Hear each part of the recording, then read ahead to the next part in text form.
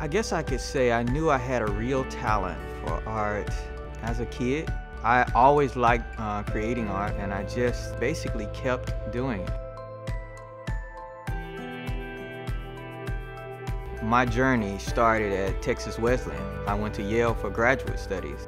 I had been painting about all that time, but I was sort of using people who reminded me of people back home.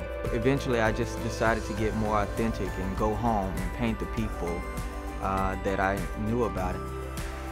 At a certain point, I was drawn to UT Arlington. You know, I heard I heard they had a, a, a nice art program, and I was looking around for a place that I could contribute. I searched around, and they opened the doors, and lo and behold, 10 years later, um, I'm still here. It's, it's been great to be a part of the Arlington community. UTA has, has grown. It's, it's been a substantial part of the, the Arlington community as well. It's, it's just been a, a, a very positive experience for me. I think Arlington definitely has the potential of growing, of finding all of these unique components of the city. Arlington has a, a great variety of things to build on.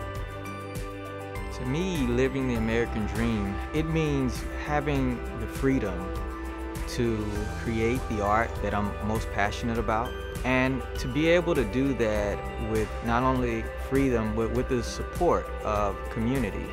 I, I feel like I, I get that now. I do feel like I've been able to live my dream as an artist.